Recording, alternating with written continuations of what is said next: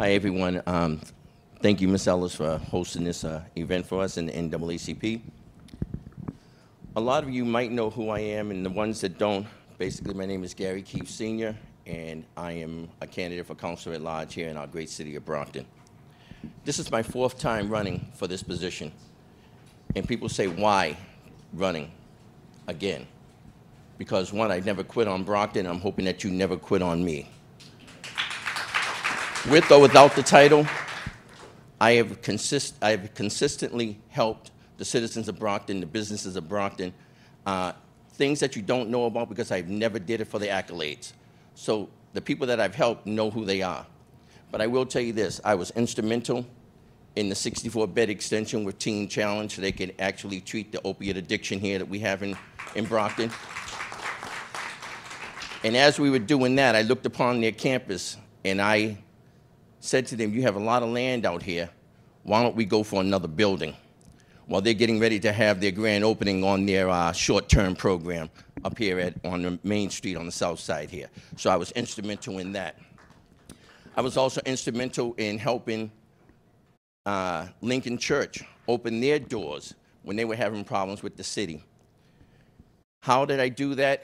I've actually, when uh, the late Mayor Bill Carpenter was alive, after he was first elected, he appointed me to the planning board, and from there I actually served on the zoning board also four years on each. And, uh, and we helped all these things that you see right now moving the city forward, as uh, some of my, uh, the candidates have said also that we're going forward. But I was instrumental in some of those uh, things happening.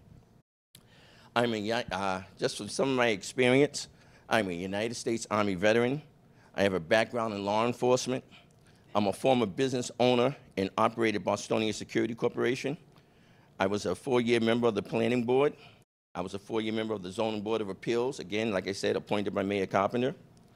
I was the local chairman for the Self-Help Inc. Head Start program. I was the former chairman for the Head Start program for the Commonwealth of Massachusetts. I'm also a 34-year member of Jubilee Church, where I serve as a gatekeeper and an armor bearer. My slogans on my sign say experience matters. So everything that I've said is why I put that there. I've also been married to this beautiful lady over here for 33 years. We raised, we raised our seven children here in the city of Brockton. All have gone through the Brockton Public School System, and all are doing very well with their jobs right now, making their careers. Our youngest daughter, being 20 years uh, old next month, uh, is in Massasoit. Um, so again, I'm asking you for your vote on September 17th to be your next candidate for council, to be your next councilor at large.